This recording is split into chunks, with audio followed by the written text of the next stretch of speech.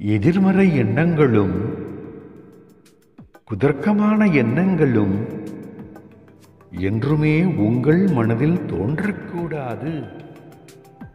அப்படி தோன்றாமல் பார்த்து கொள்ள வேண்டும். நல்ல எண்ணங்கள் மட்டுமே உங்கள் மனதில் எப்போதும் உதிக்கும் வண்ணம் நீ வாழ பழகிக்கொள்ள வேண்டும். நான் யாருக்கும் கெடுதல் நினைப்பதில்லை.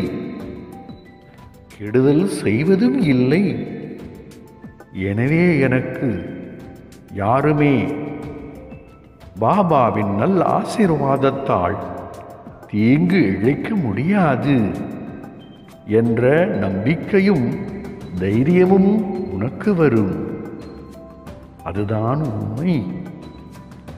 இவ்வாறு யாருக்கும் கெடுதல் செய்ய நினைக்காத தீங்கு இழைக்க நினைக்காத உங்கள் தூய உள்ளத்தில் எதிர்மறை எண்ணங்கள் எப்போதும் தோன்றாது.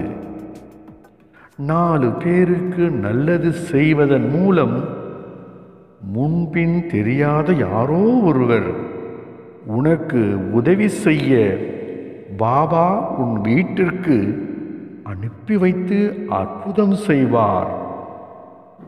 அதே சமயம் சாயப்பாவின் ஆசிர்வாதத்தால் உங்களுக்கே தெரியாமல் உங்கள் கருமவினை கெடுவலன்கள் குறைந்து போய் இறுதியில் அதன் பிடியிலிருந்து முழுவதுமாக விடுபடுவாய். பாபா உன்னை நல்வழியில் நடத்தி சுகமான வாழ்க்கையை கொடுப்பார்.